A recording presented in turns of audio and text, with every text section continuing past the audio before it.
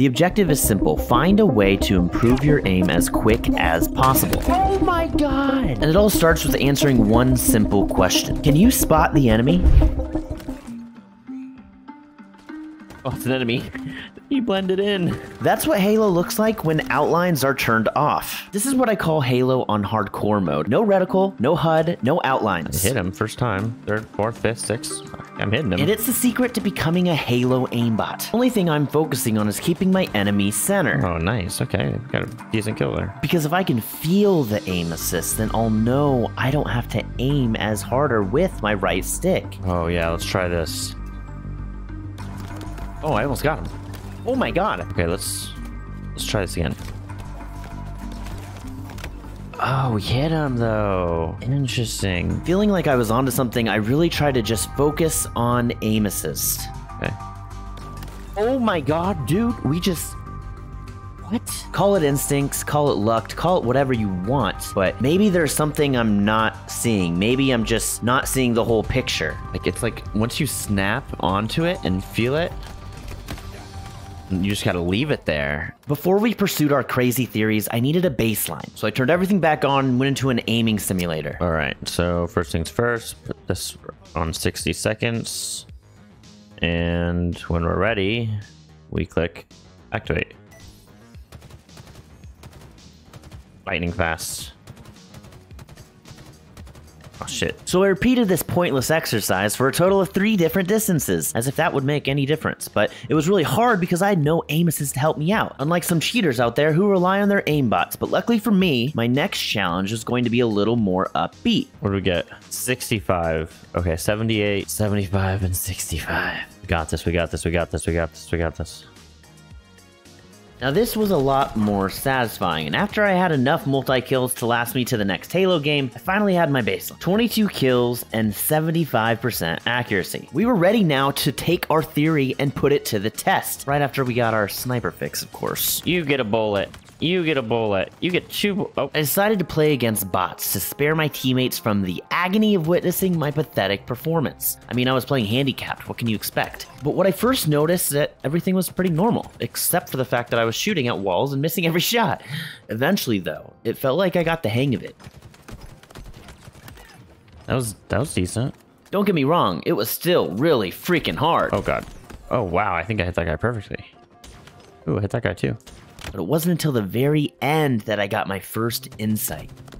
I could already feel like my centering is I, I have to center, you know? With centering being my new focus, I wanted to try it out on a different map, one that I play a lot. Alright, let's try this again. My love. Oh, still got it. Oh, I'm so close to getting a perfect. But it was only a few minutes into it that I actually got my second insight. I feel like I'm just more aware. Like when there's less stuff on my screen, I can just I see new things. I see different things, things I didn't see before. Nice, that was decent. So teams over there, guys right there. Gonna be B or bottom middle. I literally said that. Oh crap. Oh, crap. This is so hard. Ugh, man. It's just making my sniping completely useless and... Oh crap. Hold on. Kill this guy. I could really feel the aim assist at like a certain distance right there. That was that was weird. And now we had our third insight. So with two maps down, we needed a new objective game type on a different map. Normal open. Up up. Throw grenade. If I can shoot those. Yeah. Can't shoot those at all. Two hours later. Did it. There we go. oh, I think I just got it perfect. I did just got it. Oh my god, I just got it perfect. You don't have a reticle? Like, you play way more tactically. Like, I'm just like jiggle peeking here. Oh my god, did I just get a triple kill? No way. And even though we don't get this overkill right here, my newfound confidence pushed me to take things to the next level. Oh, I didn't even pick up the shock rifle. Now I'm a new man. Oh. This was something I didn't expect. My sniper game is basically useless now. Okay, I'll take it. I don't know if I'm going to be able to come to terms with that Oh, nice. once we hop into ranked. Ah, just a little bit higher. Ah, man, it's so hard to use that. So hard. But before we subjected ourselves to the ranked blunder where we would be chopped, sliced, and diced by the pros and other Onyxes, we had to play one more map on one more game type on hardcore Halo mode. Which begs the question will we be shot, stabbed, and blown up by the bots? Let's find out. Oh, the stalkers on this map. Man, the stalker's like the ultimate test of how your aim is. Sentinel beam's gonna be another weapon I need to try out. Been wanting to test you out for a long time, buddy.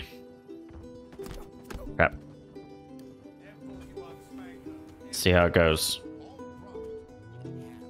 In only a matter of minutes, I got my fourth insight, and Oh, I hit the first two. it makes a lot of sense. Honestly, I think I figured out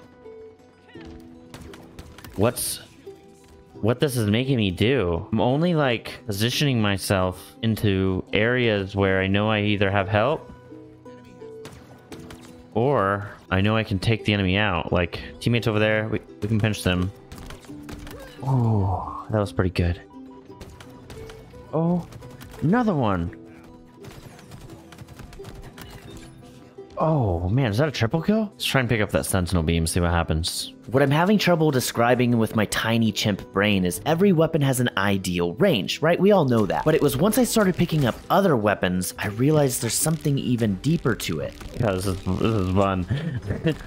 Something about it just feels more natural. Like this is how it's meant to be used. Let's try this out.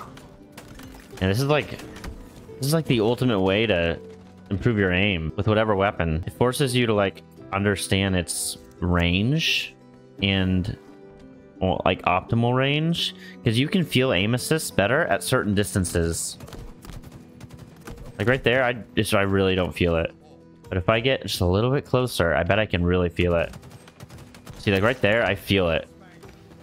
To find that distance. Oh, that was a pretty close distance right there too. I don't know exactly how far it is. Maybe from like here to the end of the um the edge of the wall. Once you find that distance, you can like better position yourself. That's what's interesting. It's like once you find that distance and you lock it on, then the left stick becomes a oh well, then the left stick becomes like the, your next tool. You know, find the distance, line up the target, attack. Just that seems so easy, right? After slaughtering bots for days, it was Judgment Day. We had to prove ourselves. Did playing without a reticle, HUD, and outlines improve our aim? Our first go around, we got 78, so let's see what we got this time. 92. 92. Holy crap. We improved by a lot, and it wasn't just the first distance. All three distances, we saw improvement. But it was time to test our range and our accuracy. Just gotta really focus left stick. Zoom in on the far ones for the one shots. We got this, we got this. When we first started on this journey, we got 22 kills and 75% accuracy. Anything more than that will be an improvement, and I'll feel confident in moving forward. Game amount of kills though, 22. But the accuracy improved by almost 5%. Wow, look at us. We're so good at shooting pixels on a screen. I'm proud, but the ultimate challenge still lies ahead. Can we defeat the elite gamers who have no life outside of this game, aka Onyx players, aka myself? I don't recognize any of these guys. Shot by control. Upper end. Oh god. Shot. Stop control. Yeah, I can't see him. Okay. Oh god. Oh god, please. Yeah, I'm no help. Oh, I almost killed him. No. Elevator. Oh my god, he destroyed me. I am one and nine. Jump up. Oh my god. Oh my god. Yeah. So we went negative 10. Okay, okay, that's enough pain for now. I was missing something, so I decided to go to one of the best in the game to ever play and ask for some help. All right. I suck at centering my aim before I see the enemy. Uh, do you have any best practices? Um, shooting against bots, turn reveal location on, and focus on your centering when you're turning corners and stuff like that. What if I told you you can see the optimal range of every weapon without a reticle? How do I know this? Look at the yellow dot. This only appears when your reticle is on the opponent and within optimal range of the weapon you are using. Oh! Once that yellow dot comes on, it's game on, you know? And when I figured that out, we had level one of how to improve your aim as quick as possible. Okay. Oh. Oh, man, I'm kind of on now. Oh! Oh my god! Let's go. Sorry, buddy. After you're feeling good with level 1, it's time to implement Snakebite's advice reveal the enemy location. This was the coolest part of the entire process. I can't describe in words how satisfying these no scopes were. Jeez. The incremental, like, adjustment in difficulty. Oh, I just snapped to that guy.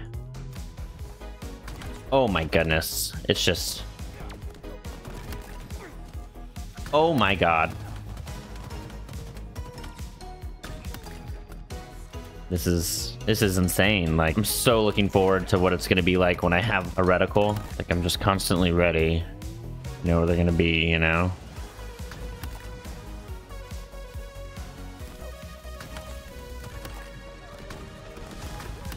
Oh my god. That was insane. Get out.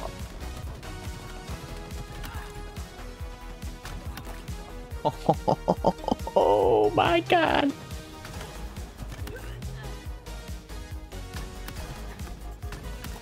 Oh my goodness.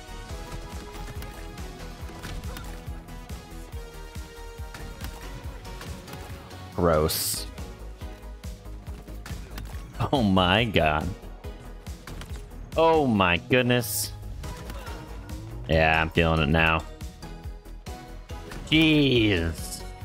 Like you start to understand where the actual center of your screen is and man, it feels good. But after enough of that, it was time for level 3, and it felt like I was hacking. I was shooting these bots so fast with the sniper that the game couldn't even keep up. I hit hit him square in the dome. I already feel like it's so easy. Oh my goodness.